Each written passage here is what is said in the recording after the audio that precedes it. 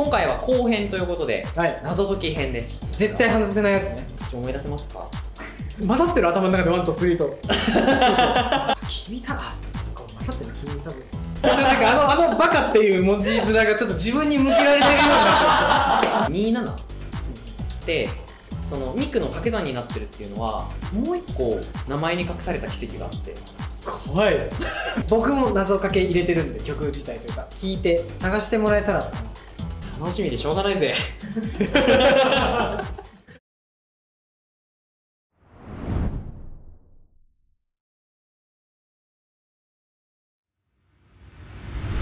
こんにちは。リドラチャンネルの松丸亮吾です。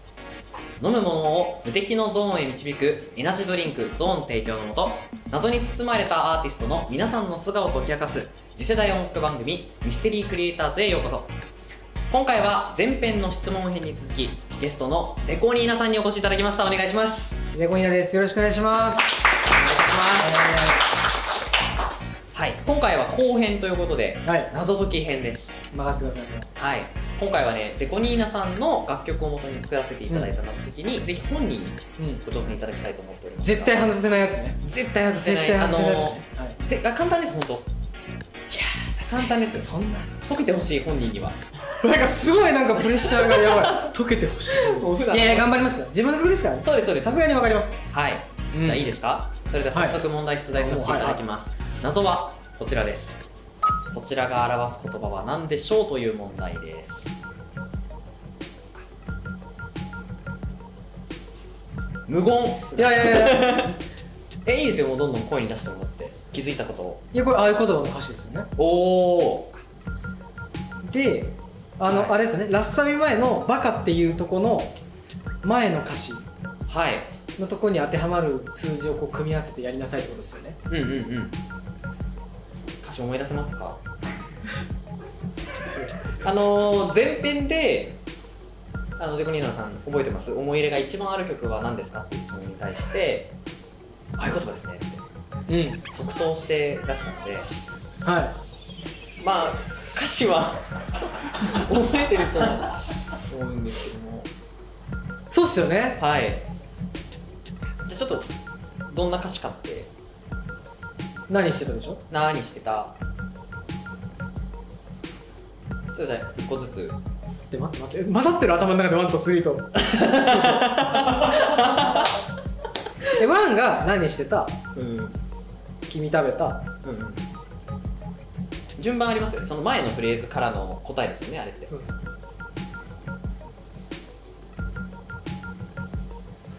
あのー、携帯をお持ちでしたら検索機能を使うこともできますよ。ヘルプ。自分の自分の曲の歌詞を自分で調べるってなかなかない。ちょっと待ってはい。ワンはあ君だあそっか混ざってる君多分そう君食べた。何してた？何してた？君のこと。なるほどね。はいはいはい。スマホ返しちゃって大丈夫です。ああーなるほど。だから3がありますね。恋愛のからえー、いいですか答え。あもう分かりました。まさかそれが答えと思ってなかった不思議おですじゃあ答えていただきましょはい。えー、合言葉。う正解です。この謎はデコニーナの人気楽曲「合言葉」「合言葉2」「合言葉3」の歌詞を使った謎。3つの曲に共通する印象的な「バカ」というフレーズをもとに歌詞を当てはめローマ数字に対応する曲からそれぞれ文字を拾ってくると合言葉という答えが浮かび上がるこの歌詞の謎に気づきデコニーナは見事正解を導き出した。でもスマホを使いましたけど。なるほどね。いやなんかこう結構組み合わせて、はい。あのあそこが全然僕の曲と違う言葉になるのかなと思ったんですよ。もうデコさんの曲からデコさんに関係するキーワードということで。この作り方うまいっすね。さすがだ、あの聞きたいことがいっぱいあるんですよこの曲に関しては。ほ今まで one two three とううんうん。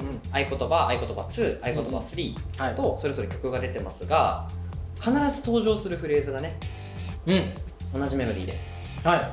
あると思うんです。はい。ということで今回そこの文字をちょっとにらめっこしていたところ、ねなるほどなるほはい、 one two three のそれぞれのフレーズから、ど、うん。その曲名である合言葉というのを拾うことができたのでこれぜひお出ししたいなと。すごいな。この愛のあるクイズをスマホを使って解く作者。そんな姿見たくなかった。それなんかあのあのバカっていう文字面がちょっと自分に向けられてるようになっちゃって3回バカバカバカって言われて今まで何してたのって言われてます。いやもうすいません。ちょっとねはいでもなんかこの曲に関してはですねやっぱりこう感謝を歌う曲じゃないですか、うんうんうんうん。でミクに対する感謝もありつつ、うん。こう今まで曲を聴いてきてくれた、うん。そのファンの方への感謝も絶対込められてるだろうなとはい。も思って聞いうてるんですけど。全部盛り込んでますね。自分が活動していく上でありがとうを言わなきゃいけない人に対しての気持ちを。あ入れちゃうもうファンとミクだけじゃなくて関わってくださる全ての人にはい。ありがとうとはい。気持ちを込めてるわけですね。そうですねでももうなんかもうそろそろね3から何年？今何年？やってるかな、えっと3年？3年ちょっと空いてますか？そうですね3年空いてますね。だから2023にもしかしたら出るのかな？ってあー何かしらが。4が出るのかな？みたいな。ああゼロとか。あゼロ？リターンズとか。なるほどリターンズ。帰ってきた合言葉とか。帰ってきた合言葉。なんか途中からウルトラマン入ってないですか？すいません はい改めまして正解おめでとうございます。ありがとうございます。今回ねあの僕が好きな曲でもあるんです合言葉が。うんうん。はいそれがなんかこう謎解きになったっていう初めてだと思うんですけど。面白いですよ。あ嬉しうん。いもう僕作ってる時デコニーナさんの曲のはい。MV とかうん。歌詞めちゃくちゃ調べていろんな謎を逆に見せつけられたっていうか。ああまあ確かにちょっとなんか僕の歌詞でそういうとこありますよね。そう気になることいっぱいできちゃった。ねあのいろいろ聞いていいですか？は多分ね気づいた人ね僕ぐらいだと思うんですけどい。は「乙女解剖」って有名な曲あるじゃないですか、いうん。そう乙女解剖の2番のサビが終わっては伴奏が入った後からいうん。漫画のうん。フォントが変わるんですよ、なぜか。うん。そこまでは漫画っぽいフォントなんですけどそこから急にゴシック体になって、うん。あれ何なんですか？うん。なんかねあのー動画作った子たちがはい。こだわっていたのは覚えてる、あそこのフォントの話をしてた。何かしらのギミックとして入れてたと思うんですよね。あじゃあデコニーナさんが作った曲のある種映像を作ってくださる人たちがその解釈を盛り込んでそこをさらにメッセージを付加するっていうか、よりクオリティの高いものに仕上げたってことなんですねだから結構動画の細かいとかって僕あんまりその口出してなかったりする割と自由にやってるところでその歌詞もちょっとなんかいろんな捉え方ができる余地があるように作ってるのにさらに映像もそういう別のね映像クリエイターのなんかこうアイデアとかが加わってで世に出るのはそのセットになったミュージックビデオじゃないですか。わだから結構そう。探しどころがそれが面白いと思うんですけどね。そうなんですだから今回謎作るってなった時にもうデコニーナさんの MV に謎がたくさんあるから、はい。もう見てっていう謎にしようかなと思いましたデコニーナさんの MV を見てってそれが謎告知ただのそれ 告知。他にも皆さんも聞き聞きたいことがもう一個あってはい。あのちょっとある奇跡に気づいたんです最近。そのデコニーナさんの謎を作ろうと思って考はい。えてた時に、はい。あのデコニーナさんの27ってそのミクの掛け算になってるっていうのは、はい。曲中でも登場するじゃないですか、はい。まあ、確か合言葉の歌詞の中でも、うん3と9をかけたら27になるねっていうはいはい。ところがあると思うんですけどもう一個名前に隠された奇跡があってそのデコって DECO うん。でアルファベットはい。そうアルファベットって順番があるじゃないですか、うん。例えば A だったら1番目 B だったら2番目。で D が4番目 E が5番目 C が3番目で O が15番目なんですよ。これ全部足すと27なんですよ。怖っ。怖い。そんな偶然が。あこれ偶然ですか？いや全く考えてないですよ。ええ全く考えてない。じゃあ僕は存在しない謎をただ解いてテンション上がってただけですか？そうです。いやそうなんだ。えしかも3と9かけて27とかも考えてない。そうそう。それはあのインタビューで見ました。そうそうそう。掛け算して27にのは奇跡っていう。27ただの好きな数字なんですよ。2と7が好きで組み合わせて、2番でいることが好きっていうのとあれ7何でしたっけ？ラッキーセブン。ラキだそれだ。深く。ちゃんと記事全部記事全部読んできたのに。深くっていう人久々に見た ででもなんか合言葉は結構言葉遊びだけじゃなくて曲遊びも多いじゃないですか。あそうですね。例えば3だったらね突然こう火花の歌詞が出てくるとか。一番最後のところそうです。聞いてください皆さん。聞いてない人いたら合言葉3マジでびっくりするんです。えああいうのをちょっとサプライズ的に入れるのがやっぱデコさしいなと思ったんですけどフォーももし作るとしたらそういうのなんか入れるんですか？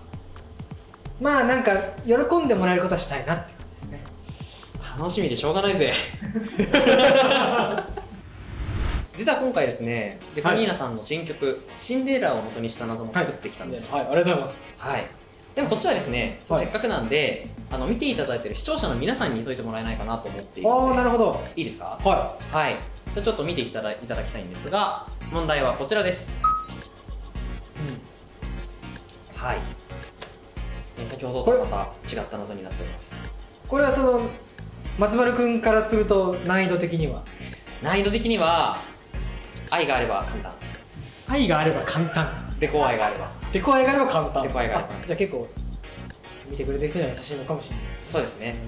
でこの謎解きに関してはねぜひ皆さん考えていただければと思います。はい。デコさんもねぜひ考えてくださいこれ終わったら。